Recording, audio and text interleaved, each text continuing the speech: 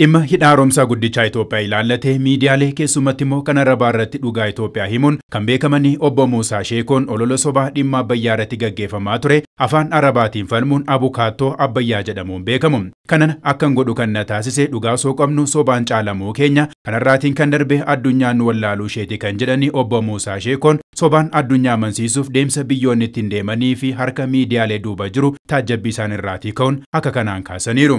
Industiriyaal zoonii miidiyaa qofa magaalaa tokko guutuu televizyiina dhibba lamaa ol gaazexaa dhibbaaf shantam weebsaayitii akkas kana hunda kanaa wajjin immoo ka biyyoota miidiyaa gugurdaa addunyaa ka biyya arabaatis hin ta'in irratti influensa godhuudhaaf gurmaahanii hojjetan bajata guddatu kanaaf ramadama. Afrikaan haadha qabeenya uumamaa lafa jalaa fi lafarraa aadaa fi duudhaatti hin boomne qabaattee osoo jirtu akka ardiyyeessaatti gabaafamti miidiyaalee warreen lixaatiin. Maqaa gaarii osoo qabduu garuu biyya fedhii dhuunfaa qabaniin biyya waraanni keessaa hin banneen fakkeeffamteetti kan jedhani muummee ministeera Dr. Abiyyi Ahmed olola Afrikaa irratti oofamaa jiru keessaati boofi dhugaa keenya dhiyeessuu qabna. Afrikaan dhugaa qabdu addunyaaf beeksisuuf immoo yeroo miidiyaa mataa ishee qabaachuu qabdu amma jechuun yaa'ii dureewwan Afrikaa soddomii shanaffaa irratti yaada dhiyeessaniiru. telling our own stories and shaping our own narratives. Dhimma keenya himachuuf eenyummaa keenya sirreessuun xiyyeeffannoo keenya guddaadha. Kanarraa ka'uunis miidiyaan paan afrikaanizimii akka hundeeffamu jechuun gaafachuun barbaada. Miidiyaan kun oduu fi odeeffannoo amanamaa ardii keenyaa kan kennu odeeffannoo sobaa kan qolatu ajandaa waloo kan jabeessu sagalee paan afrikaanizimis akka dhaga'amuuf carraa kan banu ta'a.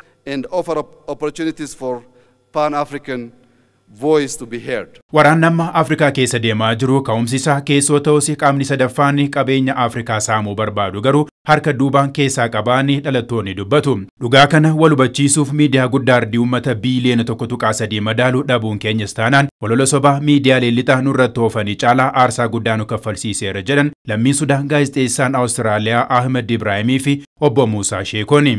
For the last previous uh, months in, in, in Ethiopia. Yeroowwan darban qofaatti miidiyaaleen lixaa dhimma Afrikaa keessattuu dhimma Itoophiyaa irratti oduuwwan sobaa hedduu tamsaasaa turaniiru. Dhimma nageenyaa fi waraana Afrikaa dabalatee siyaasa Itoophiyaa irrattis odeeffannoowwan dharaa hedduudhaan addunyaa dogoggorsaa turani. Political situation in Africa.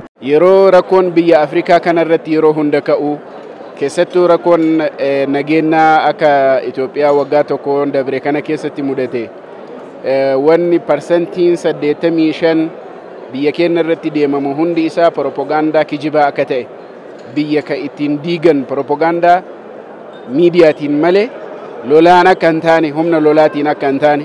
Afrikaan dursummaa Itoophiyaatiin biyyoota lixaa harka duubaatiin arditti jeeqaa jiranii ni gaa jechuu irratti argamti. Kanaafuu yaadni miidiyaa guddaa Afrikaa hundeessuu dhiyaates rakkoo harka lafa jalaatiin Afrikaanota irratti waraana lixaan oofamuuf dawaa ta'uu isaatiin hangafoonni Afrikaa kunneen jajjabeeffamuu kan qabanii ta'uudha kan dubbatame. Uh, Dr. Abiy miidiyaa Afrikaa madaalu hundeessuu qabna jechuun isaanii yaada gaariidha. Hooggantoota Afrikaatiif kuni qormaata guddaa ta'us gama kanaan kan milkoofnu taanaan oduuwwan sobaa ardii keenya ilaallatanii miidiyaa lixaarraa gabaafaman qolachuuf ga'ee guddaa qaba. Afrikaan miidiyaa tokko cimaa yaada isaanii ka ibsu sagalee isaanii tokko ka godhu Afrikaanota daayirekshinii tokkotti yaadaan akka waliigalan ka godhuu danda'u miidiyaan tokko cimaanii jiraachuu qabaa jedhan kuni yaada guddaa yaada gabbisamuu qabu. Kana galmaan gooni olola sobaa irratti oofamaa jiru qolachuun ija Afrikaanotaa banuuf yaadni hundeeffama miidiyaa guddaa Afrikaa Dr. Abiyyi Ahmad dhiyeessanii gaheen isaa olaanaadha kan jedhanii namoonni kunneen faayidaa hammana hin jedhamne kan qabu ta'usaas nuuf kaasanii jiru. Wanni diinni biyya alaa biyyoota Afrikaa kana irratti gamuuf qabeenya kanaafi.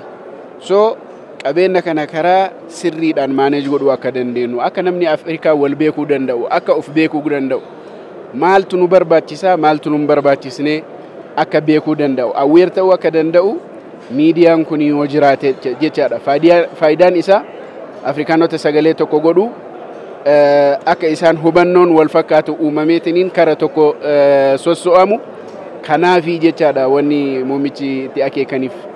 Kanarraan ka'uunis ogeessonni miidiyaa arditti alaa fi biyya keessa jiraatanii ogummaaf waan qaban hundaan ardii isaanii tajaajiluu fi maqaa ishee ijaaruufis gamanumaatii of qopheessuu qabu jedhan falmaan dhimma abbayyaa obbo Muusaa Sheekooni. Afrikaan seenaa guddaa qabdi, qabeenya guddaa qabdi, aadaa guddaa qabdi. Wanni uummatoota addunyaatitti himnu akka Afrikaatitti baay'eedha in millions. Hayyoota guddaa qabna, seenaa qabsoo baay'ee qabna, seenaa aadaa baay'ee qabna. Kanniin kanniin fireem godhanii akkamiin Afrikaanota hubachiisnaa, kamiin addunyaa guutuu hubachiisnaa ka jedhu addaan baasanii itti qophaa'uu qabanii jedha.